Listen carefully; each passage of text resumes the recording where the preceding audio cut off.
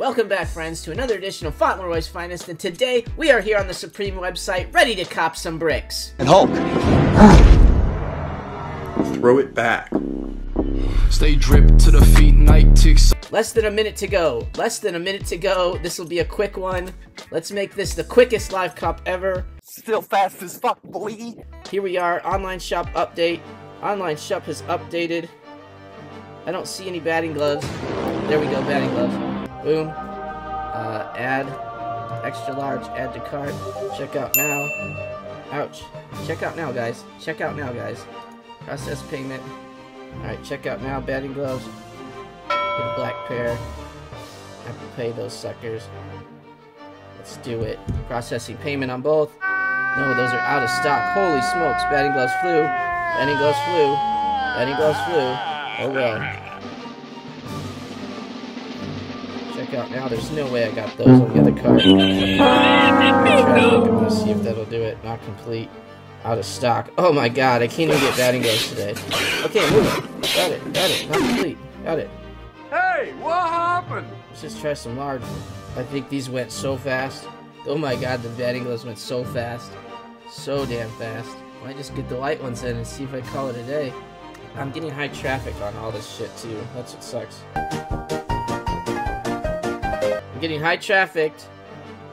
Let's get the black ones then. Sold out. Get the large. Sold out. Sold out. Let's get some damn white ones then. Shit, I'll get any of them. Come on, guys.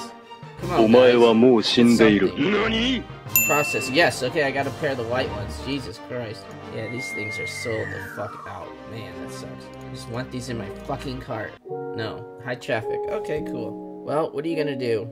I got a pair of the white ones, so at least that's something to do. I didn't really want to go for too much today. I'm really surprised. I don't think the white ones are as cool at all. All these gloves went so fast. Sold out. Sold out. The white ones are sitting, but what about the shoes? Should we get a pair of the shoes? They're still sitting. They're all sitting. The shoes are sitting. Uh, actually, wait, wait, wait, wait, wait. You edit cart, mac and cheese. Yeah, let's do it. I'm gonna just buy these. What am I gonna do? Let's see if we can do it. I'm just gonna get another cart with this small, with this other stupid pair of gloves that came back into stock.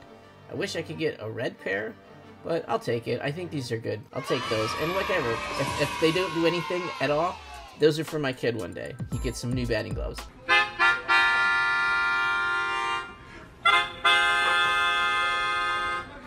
Let's see if anything sold out today. The the black denim jacquard, all the track jackets went out. Those could have been good. They were kind of pricey. Yeah, all the work shirts went out. Those were kind of cool.